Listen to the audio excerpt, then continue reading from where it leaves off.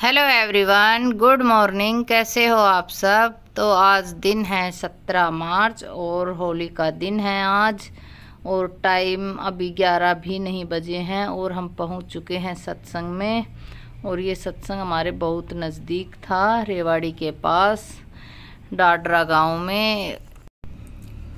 इस आश्रम में ये दूसरा सत्संग है, एक पिछले साल हुआ था और एक अब होली का दिन है। आप सभी को एक बार फिर से होली की ढेरों शुभकामनाएँ। सभी का जीवन रंगों की तरह खुशियों भरा हो।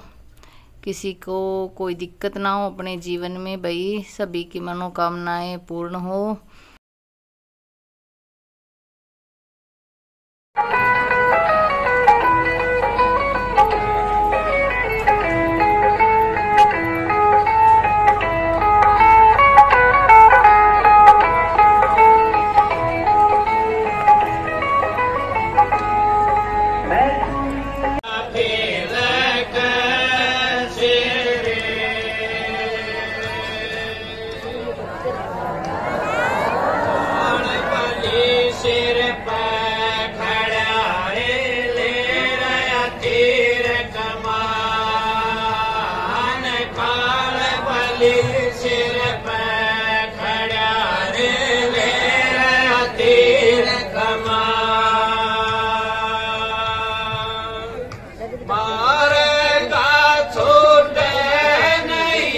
देना ना लेना ना डरना ना घबराना।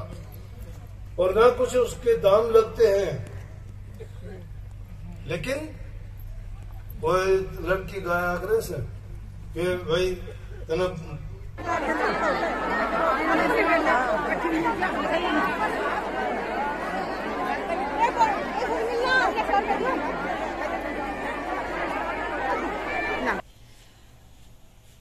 टाइम हो गया है पाँच बजकर बीस मिनट और मैं कर रही हूँ घी गरम। तो सुबह में ता दिया था और अब इसको फ्रीज में रख दिया था सुबह और फिर मैं चली गई थी सत्संग में, यही नज़दीक था रेवाड़ी के पास। राधा स्वामी दिनोद आश्रम से कंवर साहिब जी महाराज जी आए थे। तो यहाँ था सत्संग, मैं चली गई थी सत्संग में और ये इसका एक्स्ट्रा जो चाय पानी होता है वो जमने के बाद निकाल दिया है और घी गर्म हो गया है। इधर साइड में रखा हुआ है कटल। तो कटल की सब्ज़ी बनाएँगे आज। इसको साफ़ करूँगी। इससे पहले निकालती हूँ दूध। और भाई, हमारे यहाँ होली है तो हमारे यहाँ होली नहीं मनेगी, क्योंकि हमारे बाबा जाने के बाद हमारा ये पहला त्योहार आया है। तो सभी कहते हैं कि जाने वाले को पहला त्योहार दिया जाता है। तो हम ये होली दे रहे हैं अपने बाबा को तो हमारे यहाँ ये त्योहार नहीं मनेगा। तो चलिए, कटल को करते हैं बाद में साफ़। उससे पहले हम निकालेंगे दूध। और थोड़ा जो एक्स्ट्रा सामान है, इसको सेट कर देती हूँ। तो हेमू की पानी की बोतल, योगी की योगी की तो भरी हुई है। और ये थर्मस, इनको सबको रख देती हूँ दूसरे कमरे में।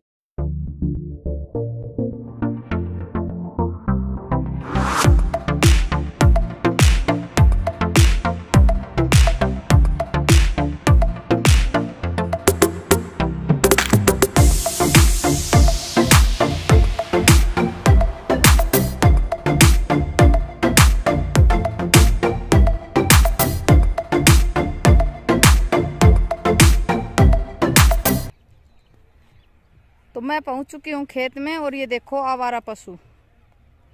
ये तो यहाँ बैठे हैं खेत के पास जहाँ रैंप लगा हुआ है और आगे आप देखिए। वो गेहूँ पके हुए हैं और देखिए। खड़ी फ़सल किसान की बर्बाद हो रही है। कुछ तो राम जी ने कर दिया और कुछ ये गाय कर देंगी। तो एक, दो, तीन, चार, पाँच छ सात सात दिखाई दे रही है मेरे को, आठ। और गेहूँ की फ़सल पककर बिल्कुल तैयार है। और देख सकते हैं आप।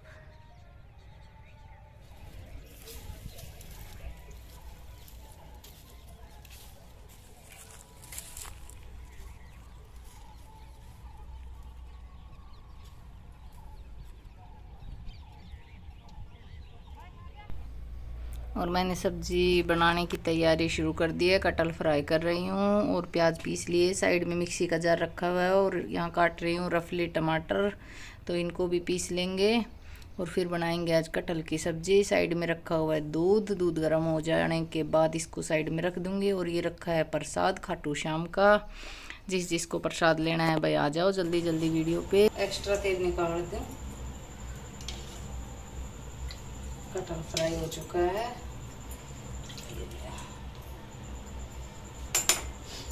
सबसे पहले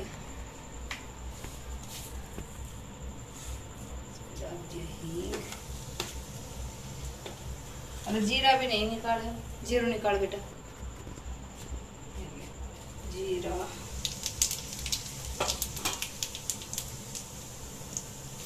लहसुन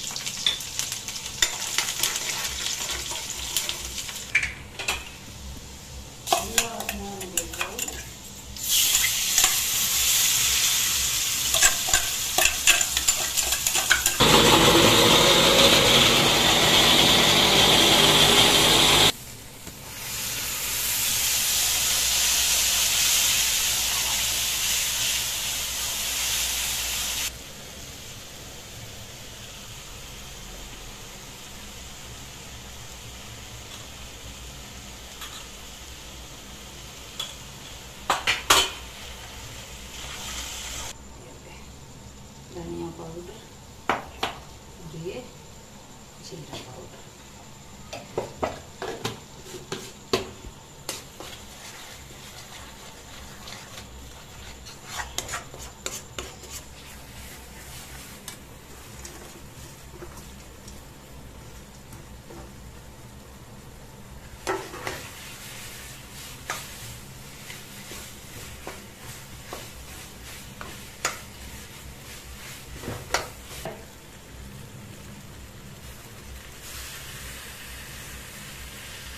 यो तो हमें मेन है।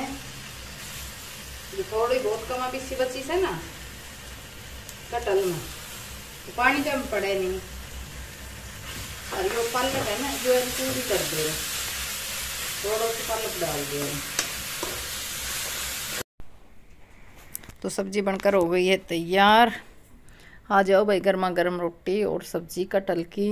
भाई, मेरे को तो है कम पसंद, पर क्या करे, अब बन गई है तो खानी पड़ेगी। वैसे सब्ज़ी मैं बहुत कम खाती हूँ, ज़्यादा नहीं खाती, थोड़ी बहुत।